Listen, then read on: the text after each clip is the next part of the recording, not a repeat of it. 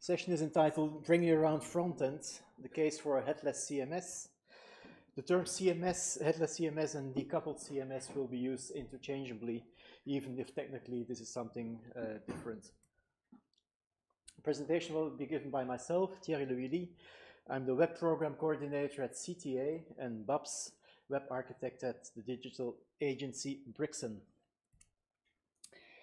Uh, what is the Technical Center for Agriculture and Rural Cooperation? Well, we have a mission, which is a mouthful. It's to advance food security, resilience, and inclusive economic growth in Africa, the, Car the Caribbean, and the Pacific through innovations in sustainable agriculture. And we fund it by the EU almost entirely. Question is, why is CTA as a technical center involved in web development at all? Historically, CTA was mainly building capacity in those regions, so in the, in the uh, Caribbean, the Pacific, and the African regions. And they did that through organi the organization of workshops and by uh, distributing printed publications. For almost 30 years, uh, the CTA was, uh, fun, was um, started in 1984. For almost 30 years, we we're a kind of a publishing house. We have somewhat 600 titles in our catalog in English, in French, in Portuguese, in Swahili.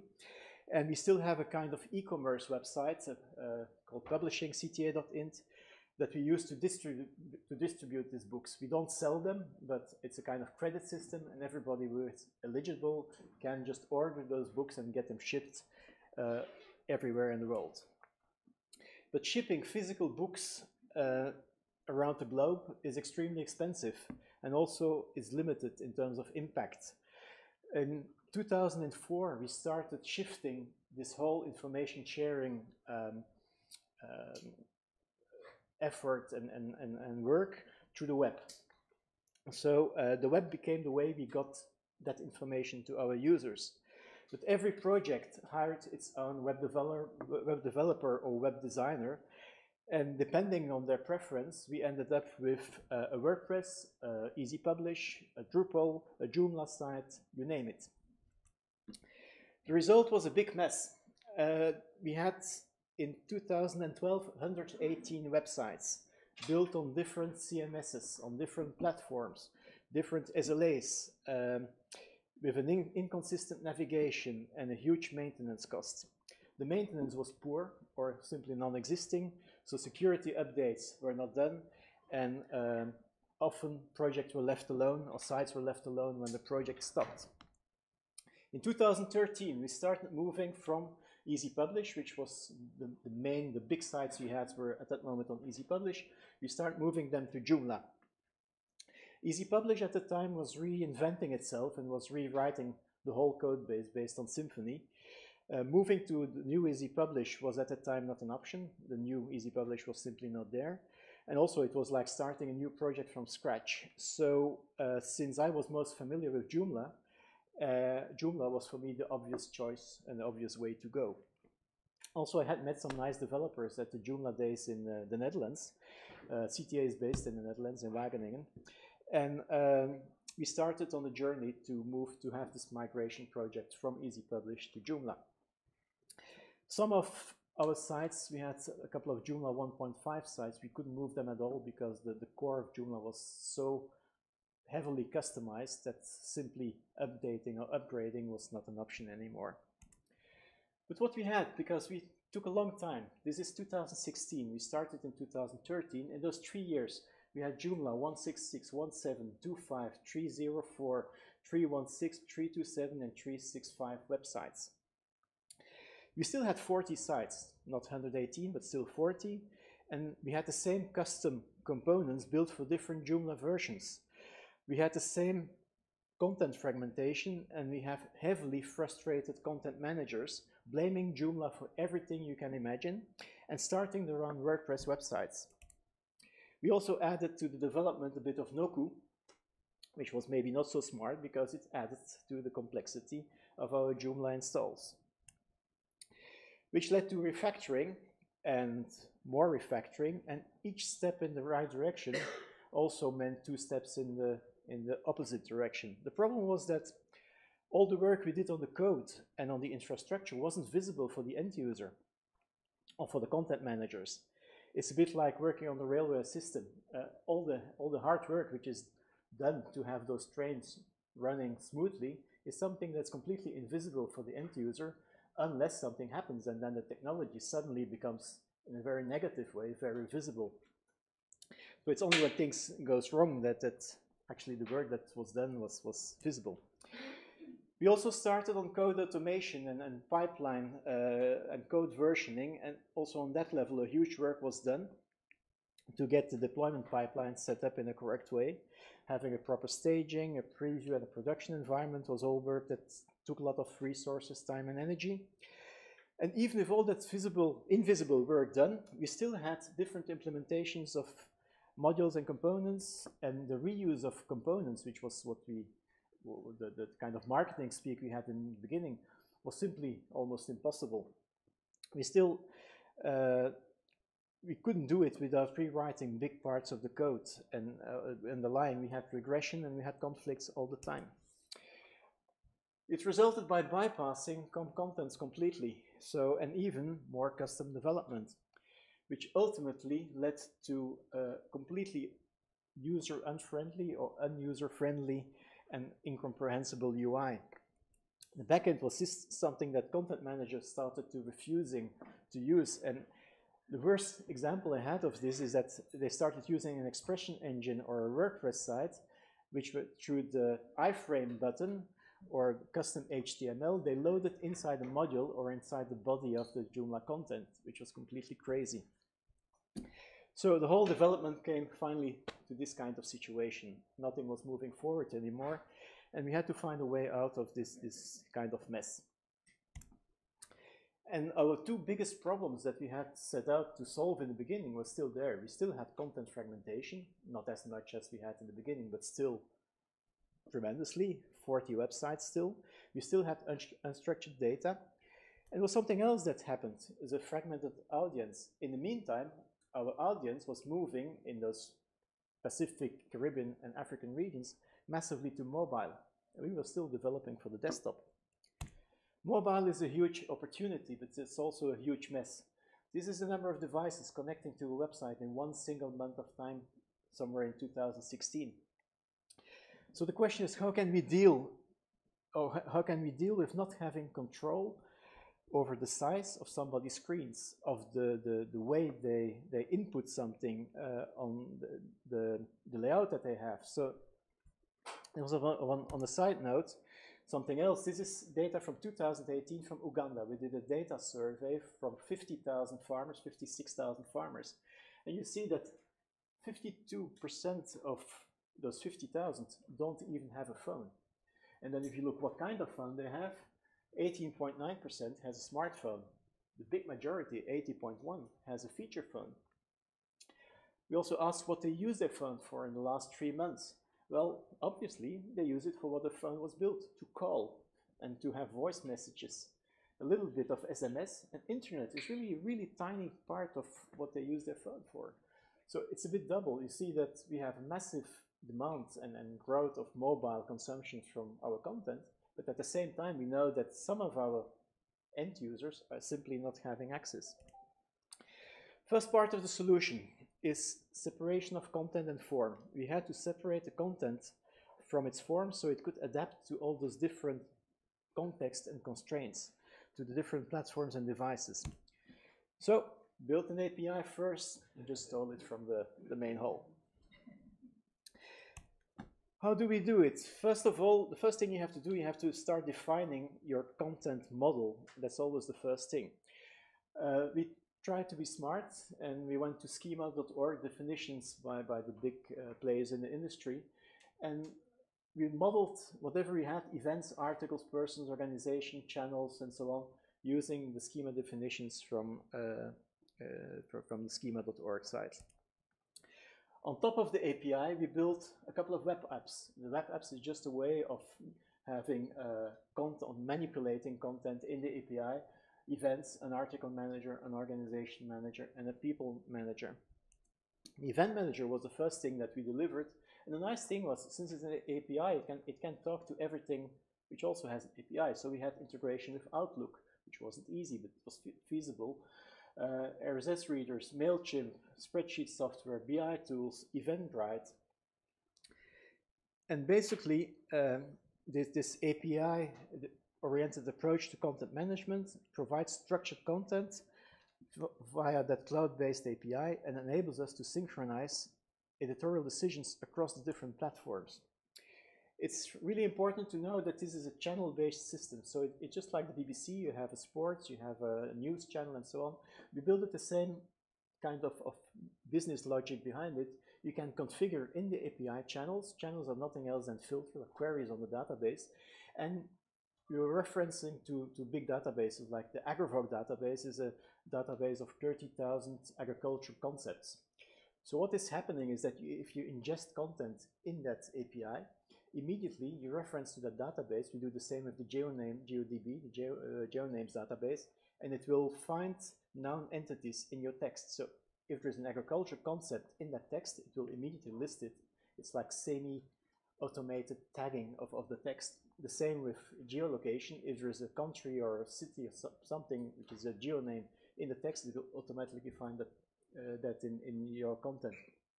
Based on those, you can have channels based on concepts. And this is this can be a concept, this is another concept, agribusiness incubation, but you could have a channel based on a country. Since we also have persons in the system, you could have a channel saying, I want a channel with all the events that a certain person, one of the person, our boss, uh, has been attending or has been speaking uh, on, on behalf of CTA. So the SCR is only used, we call it the SCR, the Shared Content Repository, is only used to manage and deliver pure content.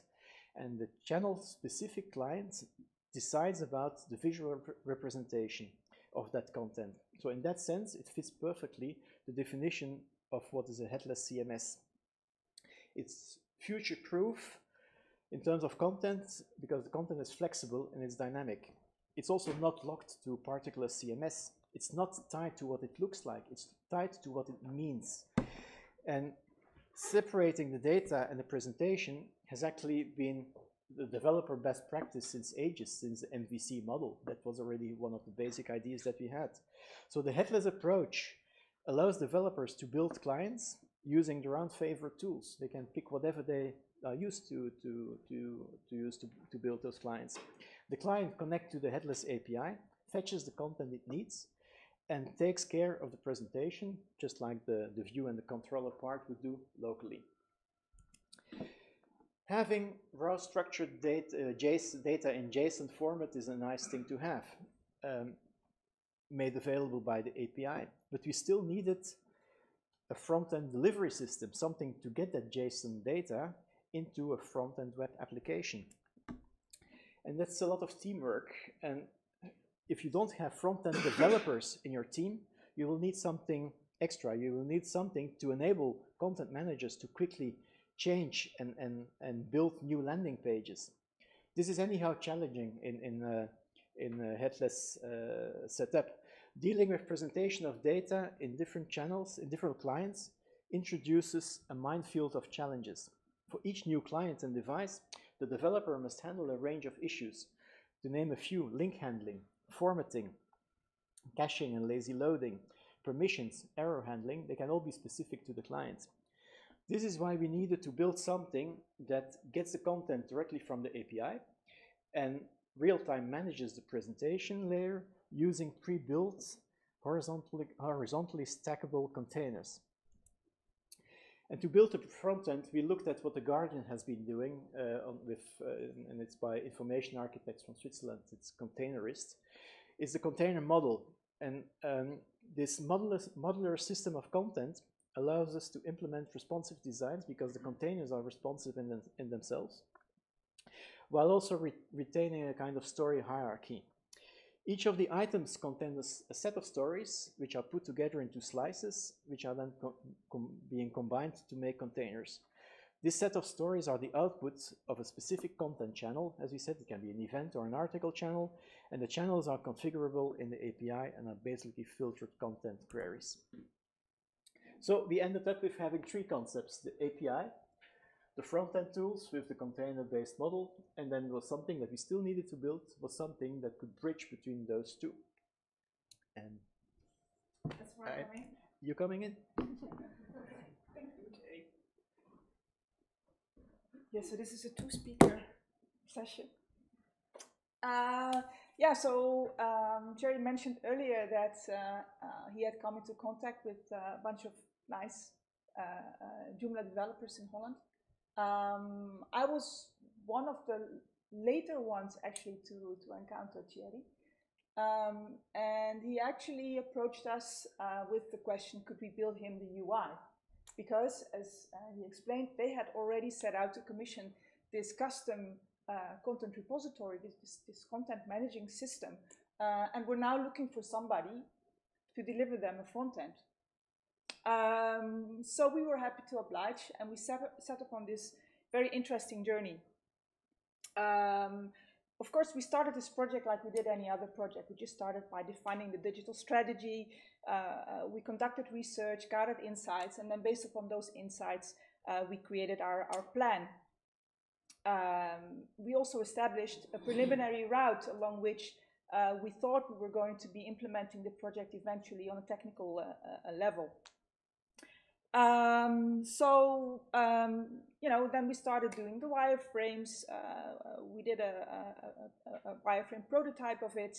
Uh, we identified the interactions. Uh, we started working on the information architecture uh, um, uh, that would allow us, you know, to, to make use of the schema.org uh, tag data inside of the content repository and also make use of all the, um, the geotagging and uh, the, the, the, the AGROVOC, thank you, the AGROVOC tagging that was being done in the, um, in the content repository because we wanted to make optimal use of it.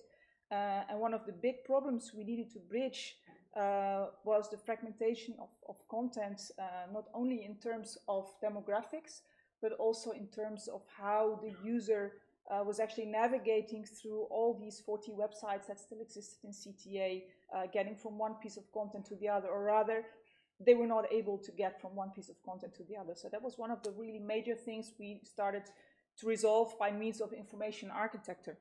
Of course, um, that took a lot of talk and a lot of planning and a lot of more talk uh, until we finally felt that we had formulated the correct uh, solution based on those wireframes that we did. So we set out to design the real user interfaces uh, we started creating uh, uh, mockups, uh, static mockups, but it also uh, we created uh, mockups using InVision that were more interactive. And we started creating all these different components that you can actually see um, on these on these prints. And we started categorizing them. Um, actually, we started categorizing them for use inside of a design uh, a design guide and not with, with, no inclination of what we're going to use them for later. Uh, so we started doing that and eventually we ended up with a complete system uh, of containers that could be stacked to form uh, story-based messages uh, uh, that were to be delivered on web pages in some web in some website. So we were ready to create the website, but um, the planning uh, was made uh, beforehand, and that determined delivery of the front end before we actually had a page building tool in place. So we needed to get very creative um, because one of the issues that CTA encountered was that of very angry uh, uh, content editors or website managers that actually did no longer want to work with the tools they had uh, at hand. Um, there was this camp that wanted to do Joomla. There was another camp that wanted to do WordPress. Uh, then there was this whole new content uh, uh, managing system um, that was actually able to take over the entire content management from, from, from any system. Uh, but CTA internally was also not completely convinced that that was maybe actually the right way to do. Um, so we came up with another system. We said, okay, um, we have uh, we have content, it's coming from the content uh, uh, repository. Uh, we had at this point already created all of the HTML and all of the CSS for the designs that were done. Um, so all we needed was putting it into templates, but no Joomla, no WordPress, so where were we going to put them? And especially, how would we do it without having uh, a system to manage all this? So what we did is we uh, devised a JSON-based system um, whereby essentially each page uh, was going to be a JSON configuration um, and it would consist of nested components. The page, you, you can look at the page as itself as being one component, and that one component would have nested other components. And each of these components uh, would then uh, um, uh, uh, refer to one of those blocks that you saw earlier on those, on those designs, on those mockups. And then one step further, these containers could also contain other containers, whereby you could create a large container that, that is responsive in itself and that create that could have one channel for uh, four channels, each of them being one column, each of them calling in from the uh, API another set of data. Um, and we, we envisioned this um, in a way that A, it would be very easy to get content in from any source because technically we wouldn't only have to get content from the custom commissioned uh, content repository, but we could in fact also get it from Joomla or from WordPress or from Magento or from whatever. So, um, and then the other thing was, uh, essentially we created these by hand. It was a painful job, I can tell you that. Um, but the vision was that we would, after this had been delivered, create a system uh, that would be able to create these JSON instructions for us in a more visual user interface. So um, to, to kind of illustrate to you the concept of, of what this thing is that, that we uh, created, um, I created uh, a, few, a few illustrations. So we started out by, by uh, already we had designed the components, but we started um, defining them in JSON, each of these ones individually. And um, we put those inside of one big box, so to speak. So this became like our little library of components. And we could now use these components to drag them onto a page, create new pages. Um, and if at some point uh, a container was missing, we could just create a new one, place it on the, on the, uh, on the system and, and done. And each of these containers could then be configured to talk to an API. And this is very powerful because it could also mean, and imagine just what you could do with this, is that each of these containers on a single web page would never just have to be made out of content of a single source. The top container could be a video from YouTube. And these containers could be articles from wherever, WordPress, uh, uh, Joomla, and we realized when we were doing this that we had solved another big problem, namely the CMS war, because we imagine, I mean, we, we work for, for small, large clients. Um, and basically, whenever you, whenever you go there and you start a new project, um, you usually tell them that they need to update their Joomla or maybe uh, migrate to a completely different system because that's what your company is, is familiar with, with working in, in the technology stack. Um, or the other way around, the company comes to you and says, you know, but we created this custom Drupal system and we want that to use to keep on using that. Um, with a system like this, if you, if you work API first, you don't have that problem anymore. Everybody can just work with the tool that they're most accustomed to and, and enjoy and, and, maybe invested a lot of time and money and effort in, into learning because usually larger companies, they have a staff, they have spent a lot of time and money towards uh, the systems they're already using. Plus, uh, there is content that usually doesn't live in, for instance, Joomla. You, maybe you have a, a CRM uh, application or, or, you have customer data wherever somewhere else and you want to bring it into your front end that's usually a major issue. That usually involves a lot of custom development, ergo a lot of money. So um, this, this is what we envisioned this would be. And um, what I will show you next um, is basically the proof of concept of the first, first version we, we, um, uh, we ever released. Now, what just happened went very quickly. Um, I'm not trusting uh, the, the technical circumstances at the conference enough to do a live demo, but if you are interested to see one, come look me up and I'll be glad to give you one in person. But essentially what we did in this version is, is we, had a, we had a list on the right hand side here and we had um, the page on the left hand side there. And remember when we said that we needed to have a tool uh, that was more pleasing to uh, the content managers. They wanted in fact to be able to create their pages and preview them in the way that they were actually going to look once they were published on the web. Now, it's, it's kind of possible with Joomla, you could create some, some secret front-end URLs in which you can preview your content. In WordPress, it works a little bit differently, where you have this previewing system, and it's a little bit more like what you see is what you get. But none of them are really what you see is what you get. And we really wanted to have something uh, that would allow them to fabricate pages, especially landing pages, because this is one of the uh, requirements for CTA, uh, that they do a lot of different projects um, and they need to have a lot of one-off uh, website initiatives. So they needed something whereby, whereby they could just create a landing page really quick and then publish it and preview it. Well, this is now possible. So you have your page there. This is actually um, uh, uh, the, the, the, page as it is going to look inside the browser. We're using Electron for that. I don't know if any of you have ever used it. Uh, but Electron has this really cool uh, feature called WebView, um, and it allowed us to do this. Uh, so you select a container from here.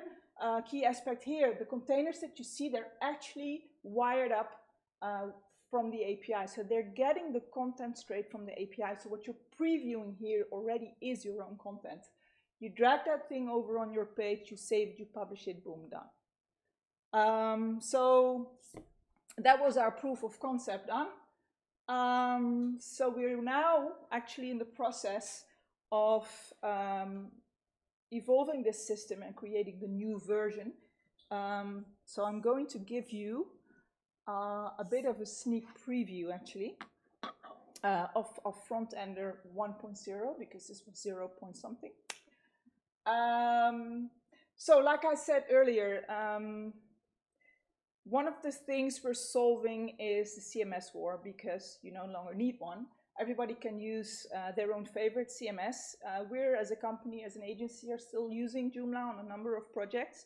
Uh, these projects are largely custom uh, components type development work. Um, we also do work for uh, platforms in WordPress. We do some Magento stuff. Uh, I've never personally done Drupal. Somebody in my company has though. Uh, but we're also talking to APIs like uh, YouTube and Twitter, and I'm sure all of you are doing that. And um, more recently, and this is also because we started developing frontend, we started using Contentful quite a lot, actually. So um, we are referring to this system as being omni-content. Um, and I'm sure you're all familiar with omnichannel. Uh, and so now by accident, we've kind of created omni-content, omni-channel. Um, all of this um, is now Frontender 1.0. Um, and I get asked by people what is Frontender. Um, and there's actually two answers to it. It depends a little bit. Uh, for non-developers, Frontender is, is what you see, is what you get, uh, uh, web page building tool.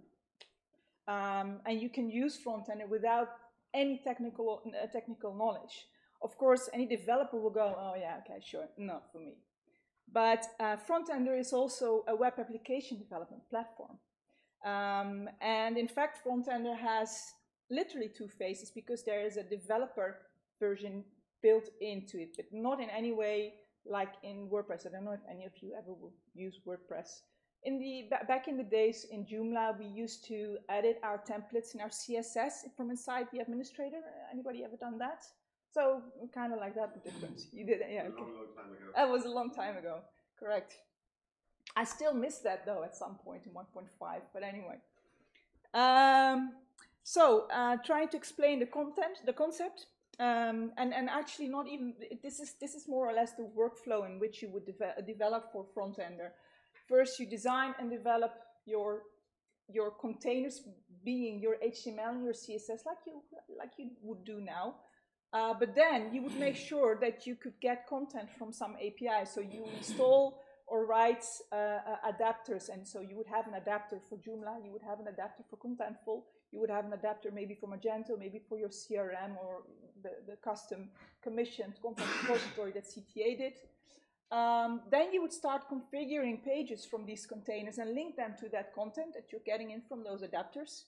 And then you design your site structure, assign routes to your pages, and publish them on the, on the internet. Um, now, like any other CMS, you, you, would, you would expect a couple of features that you need to have.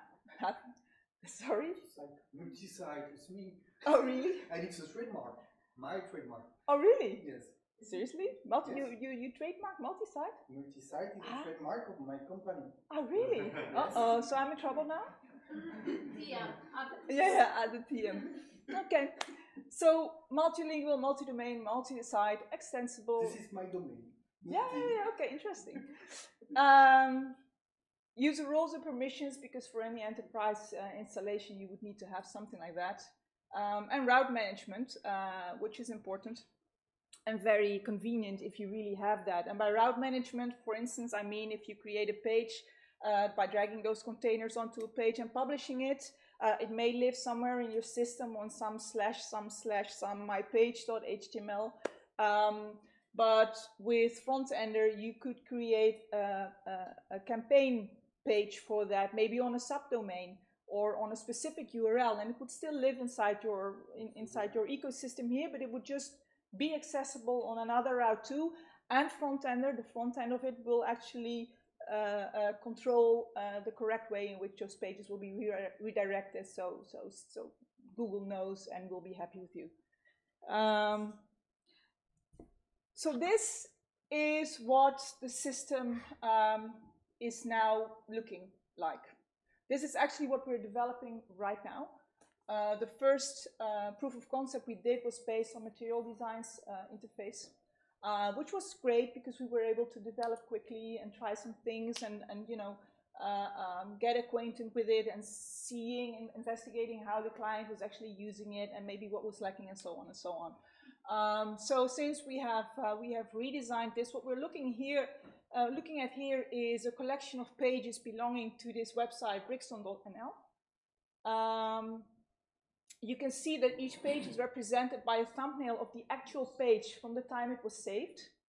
Um, there's a bunch of other information about it, whether or not it's uh, uh, it's published. Uh, the, the page on the left there has this little home, so that's the, the home icon or the root page as we call it which is something that's configurable a little like uh, the, the, the, main item ID uh, uh, for, for, of Joomla.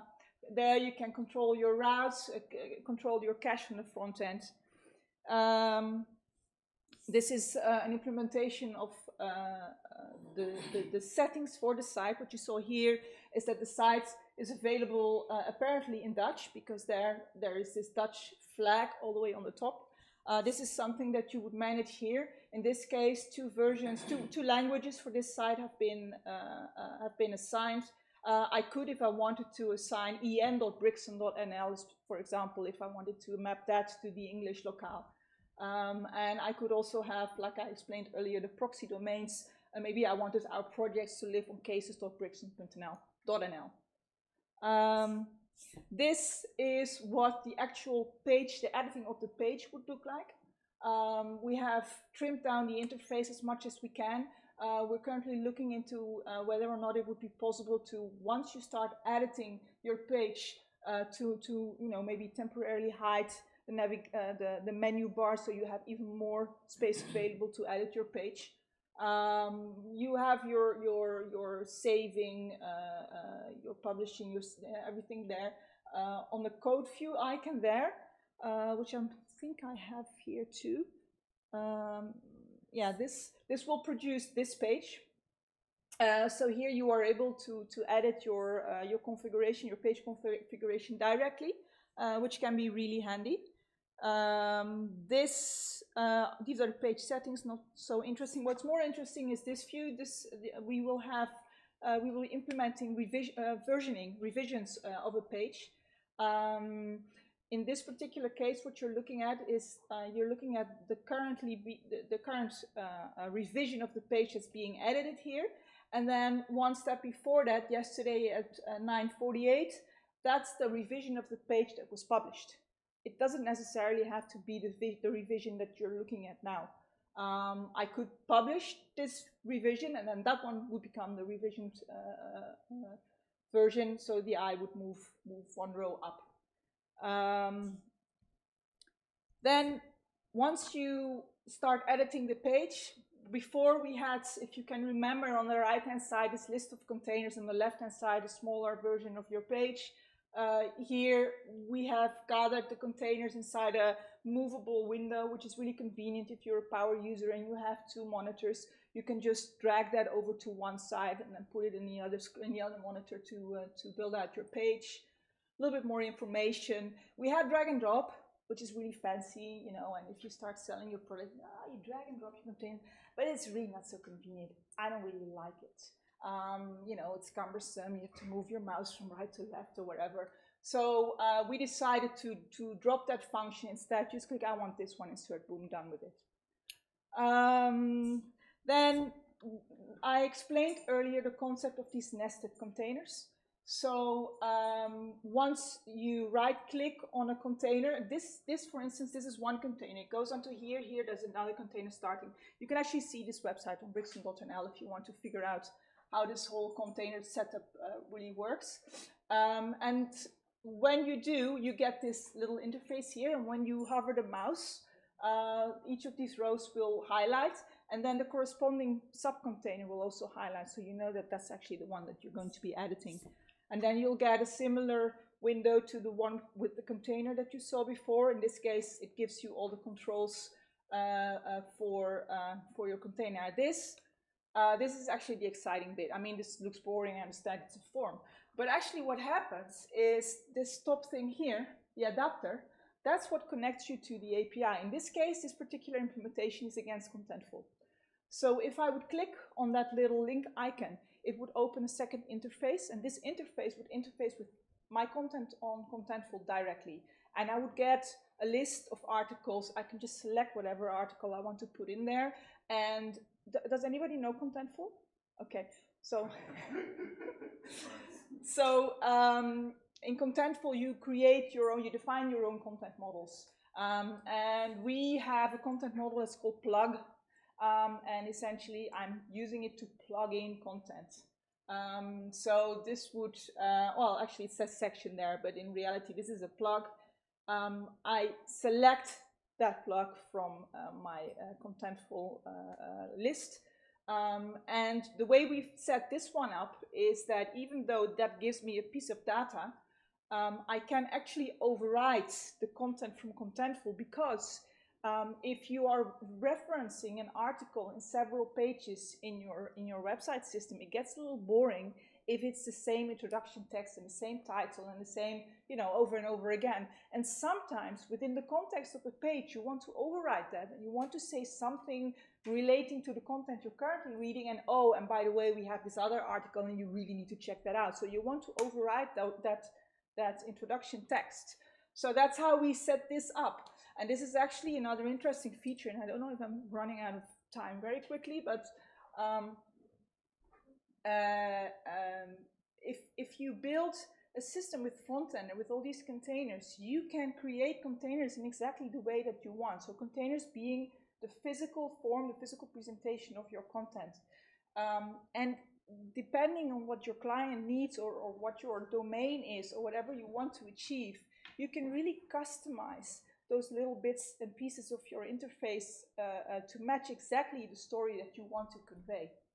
Uh, so this is what we needed to, to have here. So essentially, I'm getting my content from Contentful. I'm overriding it because I want to, uh, and, and the other one, the stand first, it's okay. I'm not bothering with it. It's it's that it's there. It looks like a placeholder text, but actually it's my text from Contentful. I'm not changing it.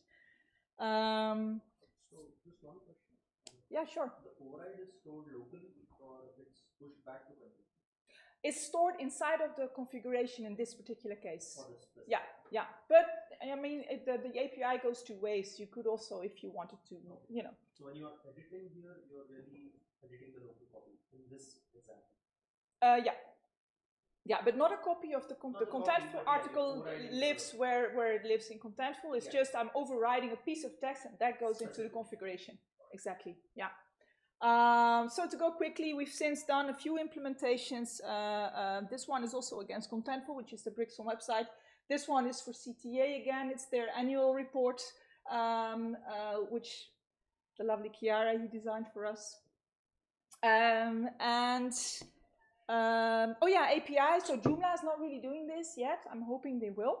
Uh, but there are a few private initiatives to create an API so, they can use, so that you can use Joomla uh, in this way. One of the initiatives is by the Dutch Joomla developers, uh, um, and the other one uh, is by Parth, oh, and, and by you also.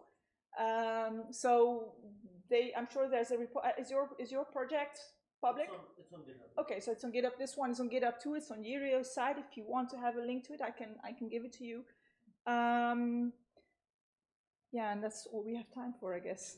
I had this other. I thought maybe we had long discussion about this concept, but can we? Uh, we have time for questions, so So is this, uh, this Frontender GPL? I mean, how are you licensing it? Is it out here?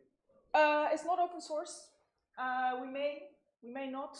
Uh, we're still developing it. Currently, we're just using it for uh, client implementations, like uh, like for CTA. Um, and there's a number of ways uh, we we could uh, we could take this. We're thinking about a SaaS. Uh, we could also do it on a on a per uh, per installation basis. We currently don't know yet. It, uh, is front-end itself built on Joomla or is it a different stack altogether? It's created on a oh the stack is okay. Uh, it's created on Symfony actually, and we're using Slim Framework. Uh, we're also using Twig uh, and JSON, and that's basically it. So it's silly simple. Is, is it Symfony three or four? Uh, it's the latest version. Is that four? Yeah.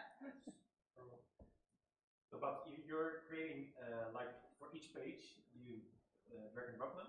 Mhm. Um, but for example, I can, I can imagine a news overview page, but do you, if you publish news articles, can you set up one kind of default template for each Yeah. global news article in that Yeah. way? Yeah, So you exactly. don't have to create for each article. Yeah. Yeah, exactly, exactly. That's exactly how it works. It's basically that's a container as well. Yeah. And you can cont- contain you can create one container for an entire page, or you can create one container container for a list. The Mhm. way we implement dynamic article pages usually is uh, we would create a, a- header, uh, a body, and maybe a footer or some uh, some author information or whatever, and we compose those into a in a combined container, and that would then be your page, and that lives as a as a sort of a, a blueprint uh, and gets called by the adapter by, uh, for Yeah. Joomla and an article to the article page, and it would route that to the user. Yeah, and Yeah. then and the, the routing has been known by the config- uh, setup of your router of the content. Yeah, yeah, exactly, exactly. And it's interesting because you can treat a page, and, and that's one of the things we wanted to achieve. Um, right now, if you're doing any templated based CMS, uh, if, if you create you, you, create like this template for uh, an article, and then it gets used and used and used and used, and it gets boring. And really, what you sometimes want is you want to inject this little extra module, or you want to inject, I don't know, a video, whatever, and it's not possible because you know the template is very static in that way, and it just accepts a, a particular kind of data set. Uh, but with this, you could actually open up that uh, template and, and drag in another container, and then your page is different. And you can save that page on other on another uh, uh, URL, or create the templates uh, or, or revise the template for all the other uh, uh, dynamic pages to use from that moment on as well. Yeah. So So We also have contextual containers which are filled in depending on the context in which they are put. So it means that those contextual containers can have related articles. But it means that even if new content is added, it's always the, the best match for that article. It's not what the content manager has decided at a certain point of time. that was the best uh, kind of article. So do you also define a primary container in order to get the context? No. Oh that- yeah, yeah, th- uh, yeah. The page itself is also a container. Uh, so the page itself would get or could get uh, uh, configuration uh, uh, to you know for, for which which uh, um, uh, content resource it, needs to contextualize itself to. Yeah, so I mean, all the pages you showed were landing pages, right? They were collection of lots Um, of content. that's that's that's the coincidence what I what, what I showed. Yeah, but in fact, for the dynamic pages, uh, for instance, that article page. Uh, uh, well, of course, the, the, the article ID would get injected by the request, uh, and it would then be handled by the by the by the top level container, which in that case would be the page, and it would then know what to do, and it, it would then make uh, the call to the API, because every container has or can have doesn't necessarily. I mean, you can have a bunch of containers that have static content, but the way it generally works is that each container has some link to some uh, uh, some API, so it will get its own data. So you could have, I mean, you could have an article uh, fetching its own data, but there could be another container that, based upon the fact that it's inside an article container that has this API lookup, could decide to do something else with maybe another API, or maybe decides to do another uh, uh, search request on the API to, to, to fetch uh, a bunch of, I don't know, videos, photo, whatever.